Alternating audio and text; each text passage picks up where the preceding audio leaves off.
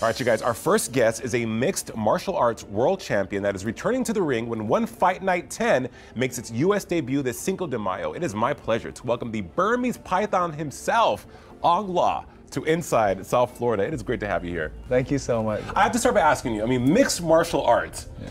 I watch, couldn't do it, what was it for you? What was that allure, or what is the allure of mixed martial, mixed martial arts that made you want to pursue this career and just make it essentially your like your life's work?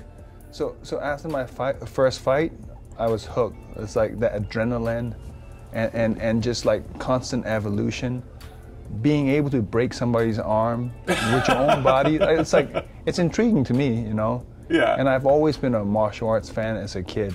Well, I'm gonna take a moment just to to to marinate in the fact that you said the adrenaline of breaking someone's arm is just everything because a first on ISF, but you're massively successful. You had an incredible career. You almost gave it up though, right before you signed with with One in 2014. Which you've been doing this for well over a decade. You didn't think this was for you. Why? No, it, it was just I was at a you know a crossroad where the money, uh, the the career choice, and, and like my family was you know growing, and the, the fact that uh, I couldn't travel abroad. You know, I couldn't travel to keep pursuing my my passion was what made me think, you know, I might need to do a different thing to support my family. Um, at that time, I was also coaching, uh, coaching about a hundred, you know, students at the gym.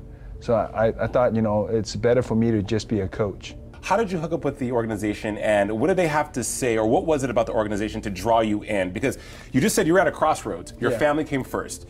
You were at a space where you thought, well, if I can't do, let me teach. And that's yeah. what you were doing. But then all sure. of a sudden, the universe had different plans. The universe had different plans. I, um, I became a U.S. citizen. I was, uh, I was given a passport now, and I can travel abroad, and I can continue pursuing what I love.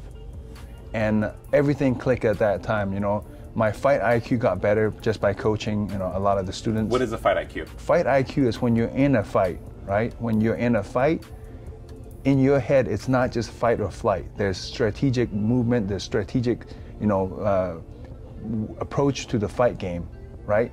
Let's just say, for an instance, you hurt somebody on the feet, right?